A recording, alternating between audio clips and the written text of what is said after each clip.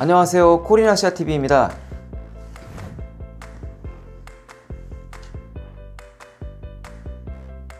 태국 이민국의 무비자 체류 연장 허용기간이 11월 말까지 적용되는 것은 10월 30일 이전에 연장된 비자에 한정된 것임을 이민국이 재확인 발표를 하였습니다.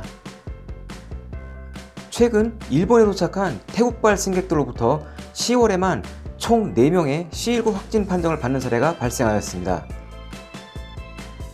태국 건강지원국이 의료 관광을 촉진하기 위해 외국인 입국자들의 이용 가능 공항을 4개 더 추가 허용한 방안을 제안하였습니다. 태국의 대중적인 간식거리인 빠똥거가 타이 스마일 항공의 기내에서 이달부터 제공되기 시작하였습니다. 라오스가 드디어 외국인 관광객을 개방하기로 결정했다는 소식입니다. 올해 타이 엘리트 비자 프로그램에 가입하신 분들께는 멤버십 유효기간이 추가로 3개월 연장이 됩니다.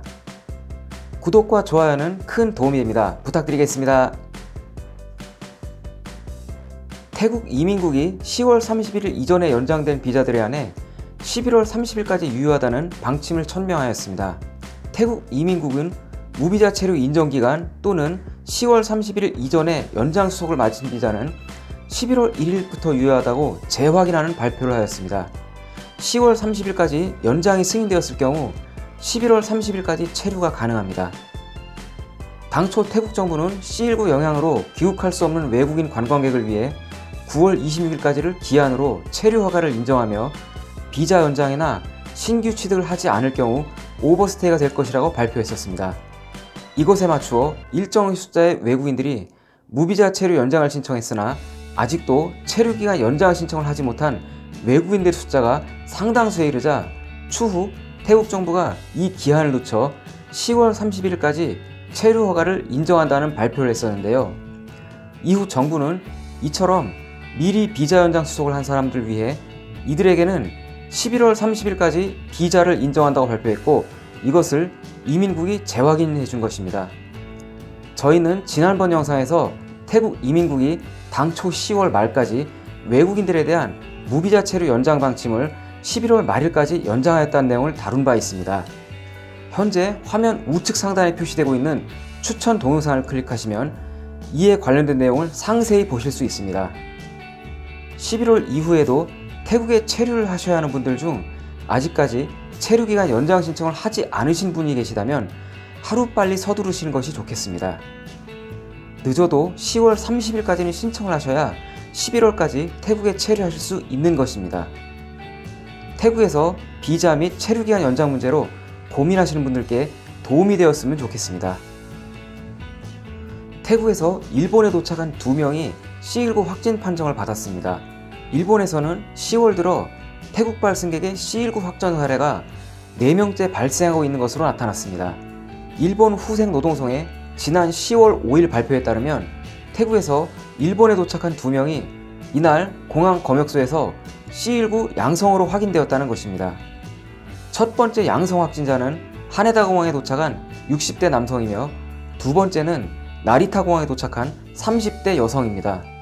모두 무증상이었습니다. 태국에서 일본 공항에 도착한 승객이 공항 검역소에서 C19 양성으로 확인된 것은 9월 1일 이후 9명째가 되고 있고요. 10월 들어서는 4명이 확정 판정을 받았습니다. 태국 정부의 발표에 따르면 태국 국내 지역사회에서의 C19 확정 사례는 9월 3일에 100일 만에 한 명이 발생했을 뿐 그것을 제외하면 지난 4개월 이상 C19 감염이 확인된 사람은 태국인 귀국자나 외국인 입국자일 뿐입니다. 태국에서는 지역 감염자는 나오지 않고 있습니다.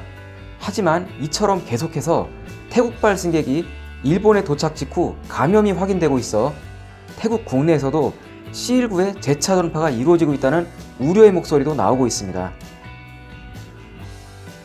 건강지원국이 태국 내 의료관광객 수용을 위해 4개 공항을 추가로 허용하겠다고 밝혔습니다.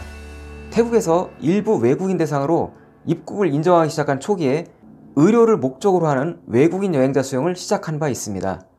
지금까지 의료를 목적으로 하는 외국인 여행자의 태국 입국은 방콕 수완아폰 공항과 돈무안 공항에서만 허용되었습니다. 하지만 대상 공항이 확대될 것입니다. 태국 건강지원국은 의료를 목적으로 하는 외국인 여행자에게 수아나폰 공항과 돈무안 공항에 이어 추가로 개방되는 공항은 다음과 같습니다. 치앙마이 공항, 푸켓 공항, 사무이 공항, 그리고 파타야 가까이에 있는 우타파오 공항 등이 되겠습니다. 해당 방침은 향후 C19 상황관리센터로부터 승인이 되기를 기다리고 있습니다. 한편 현재 의료를 목적으로 하는 외국인 여행자들이 검역을 위해 병원에서 격리된 인원수는 1123명이며 그중 652명이 환자이고 471명은 보호자입니다. 그들에 의해 1억 1,400만 바트의 수익이 발생한 것으로 알려지고 있습니다. 타이 스마일 항공에서 타이 항공의 빠덩거를 기내에서 제공한다고 발표하였습니다. 타이 항공이 출시해 인기를 끌었던 빠덩거를 자회사인 타이 스마일 항공에서 제공을 하는 것인데요. 10월 7일부터는 빠덩거에 아마존 커피도 같이 제공되기 시작하였습니다. 타이 스마일 항공의 스마일 프로의 승객 전 노선 전편이 대상이며 그 밖의 승객일 경우 대상은 방콕 발착 노선입니다. 타이 항공의 빠덩거는 현재 방콕 시내 회사의 본사와 실롬 사무실 또한 계열 베이커리사인 펍앤파이 등 총 5개 점포에서 판매 중에 있습니다. 최근 연일 길게 줄을 서는 등 큰 인기를 끌고 있어 매출이 한 달에 천만 바트에 이르고 있는 것으로 전해지고 있습니다. 빠덩거는 유타오라는 음식인데요. 길게 두 가닥으로 반죽된 밀가루를 기름에 튀겨서 만든 중국 저장성의 항저우에서 기원된 음식입니다. 한편 프라유 차노차 총리는 10월 6일 방콕 총리 관저에서 타이항공 베이커리의 펍앤파이가 제공한 빠덩거를 시식하고 맛이 좋다고 극찬하기도 하였습니다. 이 빠덩거는 타이항공 요리사가 실로롬에서 만들어 판매하고 있어 화제가 되고 있습니다. 사실상 태국 국영기업인 타이항공은 만성 적자로 경영 위기인 상태에서 올해 들어 C19 감염 확산으로 운휴 상태에 처해 기업 회생 절차에 들어간 상태입니다. 타이항공의 부채 총액은 6월 말 3,300억 바트이며 지난 9월 태국 중앙파산법원이 기업 회생 절차의 적용을 인정하고 채무 통합에 의한 경영 재건 절차가 진행되고 있습니다. 현재 타이항공에서는 현금 부족으로 빠던 거를 노상에서 판매하거나 비행 시뮬레이터 유료 체험 서비스를 도입하는 등 항공업 외에 부업으로 수입 확보를 위해 안간힘을 쓰고 있습니다. 드디어 라오스가 관광객 개방을 위해 문을 연다고 합니다. 라오스 정부는 C19 감염 위험이 낮은 국가를 대상으로 입국 제한을 완화하고 국제선 전세기 및 단체 여행객을 조건부로 수용한다고 밝혔습니다.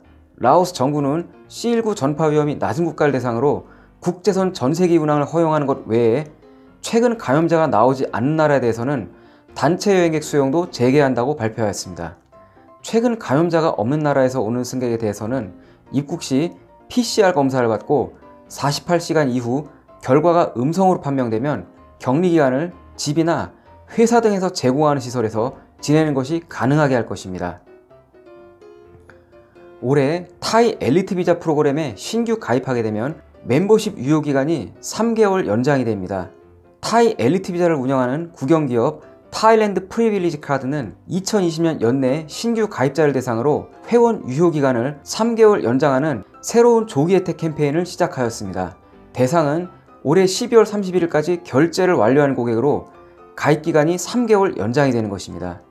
타이 엘리트 비자는 외국인이 태국에 입국 시 신속한 입출국을 허용하며 장기 체류를 허용하는 프로그램으로 2003년에 만들어진 법률에 따라 태국 정부 관광청 지경에 국영기업이 운영하고 있는데요. 초기에는 외국인 부유층을 위한 서비스에 초점을 맞추고 있었지만 최근 프로그램 내용을 7가지로 세분화하여 외국인의 장기 체류 실현에 초점을 맞춘 레지던시 프로그램으로 다시 시작하였습니다. 태국 장기 체류를 희망하는 외국인이 해마다 증가하고 있는 가운데 다른 비자와는 크게 다른 장기 체류 특화형이라고 할 수도 있는 타일랜드 엘리트 비자가 주목을 받아 해가 갈수록 가입자가 급증하고 있는 추세입니다. 타일랜드 엘리트 카드 멤버는 C19의 유행으로 인해 태국에 입국하기가 어려웠으나 2020년 10월 현재 엘리트 카드 회원 전용 태국 입국 프로그램을 이용하여 태국의 우선 입국 대상이 되었습니다. 저희가 지난 7월 하순에 게시한 영상에서 타이 엘리트 비자가 어떠한 비자인지와 해당 비자를 취득할 경우의 혜택 등을 다룬 적이 있습니다. 현재 화면 우측 상단에 표시되고 있는 추천 동영상을 클릭하시면 이에 관련된 내용을 보다 상세히 보실 수 있습니다. 타이 엘리트 비자에 관심을 가지고 계신 분들, 태국으로의 이주를 고려하고 계신 분들께서는 참고하시기 바랍니다.